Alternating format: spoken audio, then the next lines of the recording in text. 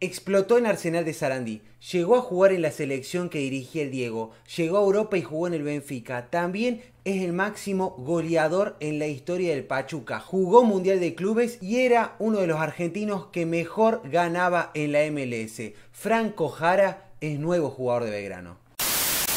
Hola, ¿cómo va? ¿Cómo anda la banda pirata del otro lado? Espero que ande muy bien, todo perfecto por acá. Franco Jara ya es pirata, ya viste nuestra camiseta, había viajado con la delegación a Buenos Aires, pero ya se hace oficial la llegada del jugador que viene de la MLS, segundo jugador en este mercado de pases que viene de la MLS, el primero, como sabemos, fue Eric Godoy.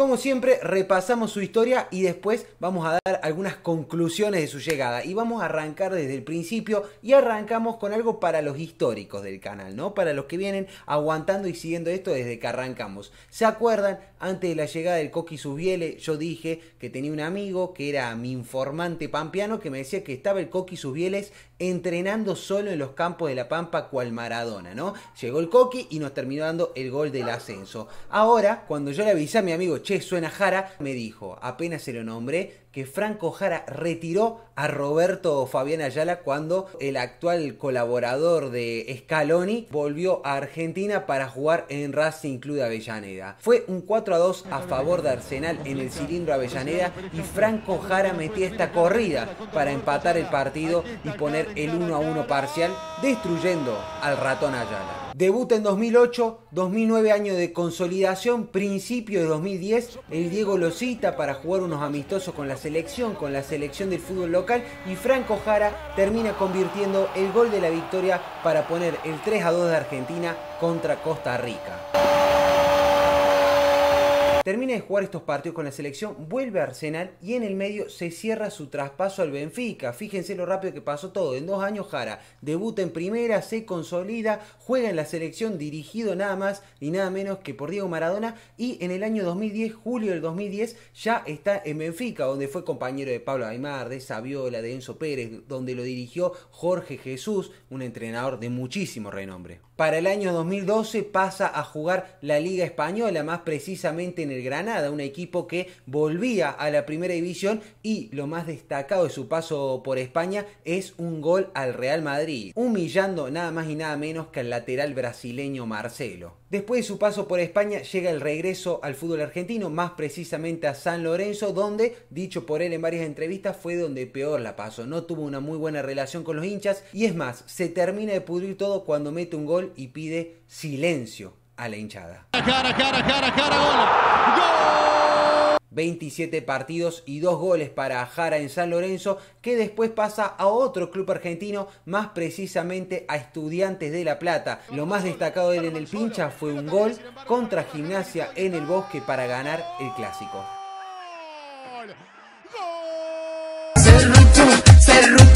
Estudiantes vuelve al fútbol europeo, más precisamente al Olympiacos. De su paso por el fútbol griego encontramos esta perlita, Olympiacos versus AEK Atenas, cuartos de final de la Copa de Grecia, partido de vuelta, la ida había salido 1 a 1, el estadio lleno, repleto y faltando un minuto para que termine el partido, Franco Jara le da el gol de la victoria al Olympiacos, se va a festejar y cuando se va a festejar empieza la invasión y el partido termina suspendido. Cuando Jara estaba en Grecia, lo llama desde México a Andrés Fassi y le pregunta si quiere sumarse al proyecto Pachuca, ¿no? Y Jara termina diciendo que sí y enhorabuena para Franco Jara porque ahí realmente hizo historia, ¿no? Realmente Franco Jara en México hizo historia, máximo goleador en la historia del Pachuca, 83 goles en 5 temporadas con el conjunto mexicano, además de ganar una liga en México, también ganó la Conca Champions, lo que le permitió al Pachuca jugar el Mundial de Clubes, donde primero elimina al Casablanca, después pierde la semifinal con Gremio por 1 a 0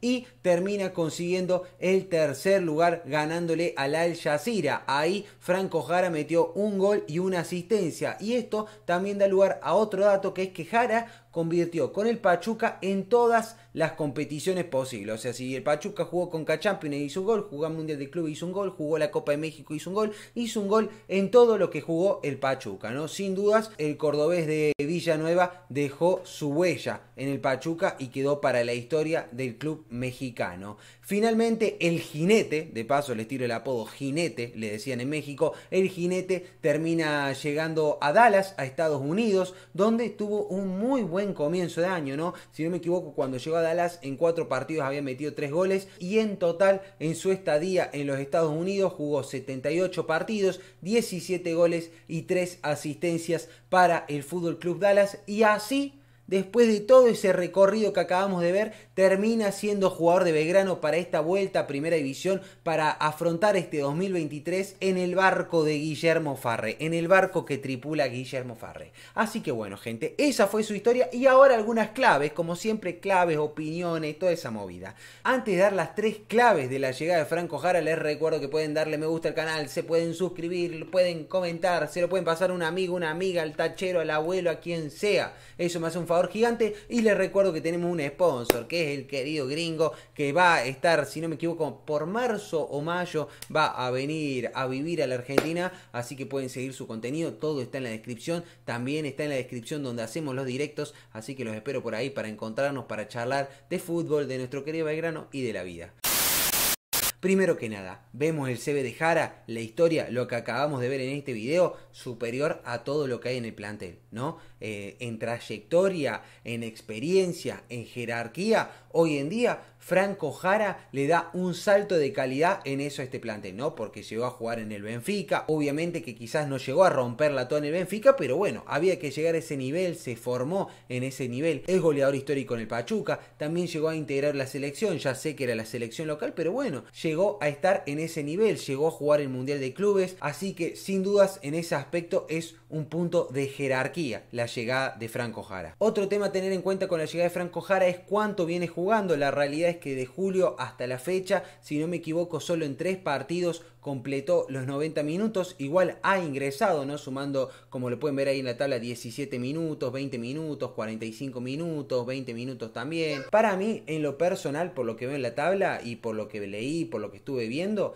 no venía siendo un titular indiscutido en Estados Unidos, obviamente, pero creo que con una buena adaptación, eh, si bien estamos muy ya en la fecha límite de la pretemporada, pero meterle, ajustar los motores y quién te dice que no pueda sumar una buena cantidad de minutos en el torneo y que no pueda asentarse como un titular. Y ese es el otro tema, porque ahora, por lo que venimos viendo en los esquemas de Guillermo Farré, por lo menos en el partido que tuve la posibilidad de estar, que fue el que se jugó acá en el predio Armando Pérez contra Godoy Cruz, eh, jugamos con un solo delantero y la llegada de Jara, ¿no? que creo que creo que son complementarios con Vegetti, así como Belgrano ha jugado muchas veces en el campeonato con un Vegetti y sus bieles, imagino que un Vegetti Jara es viable es viable y para mí sería hasta peligroso para las defensas rivales pensar en esa dupla, en esa dupla, ¿no? Eh, me parece una dupla que puede ser muy interesante, ¿no? Jara que eh, si bien se ha desempeñado como nueve de área, él sabe y está acostumbrado a moverse por todo el frente de ataque y creo que tranquilamente con Pablo pueden hacer un trabajo muy muy interesante, ¿no? Muy muy interesante y eso es lo que quiero también,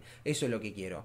Eh, por último, algo más en estas tres claves, por decirlo de alguna forma, es el amor, el deseo, las ganas de venir a jugar acá, ¿no? Porque Jara era el segundo argentino que más dinero cobraba en la MLS, solo superado por el chino. Y obviamente resignó parte de eso para venir a vestir esta camiseta, para venir a vestir nuestros colores. Así que obviamente desde acá, por el bien de todo Córdoba, esperamos que sea lo mejor para Franco Jara. Ojalá su llegada venga con goles, ojalá su llegada venga con asistencia, ojalá su llegada venga con titularidad, ojalá esté bien desde lo físico y ojalá pueda ser una pieza fundamental para el Belgrano que se viene, para el Belgrano 2023. Y bueno, gente, con eso me parece que terminamos la cuestión, con eso termina el video de Franco Jara. En breve, ojalá tengamos que hacer el video del Caco García, que el Caco García se ponga la celeste y me parece que, que estamos bien. Yo estoy ilusionado, yo la ilusión la tengo siempre, la ilusión está intacta y ojalá que Jara rinde en Belgrano.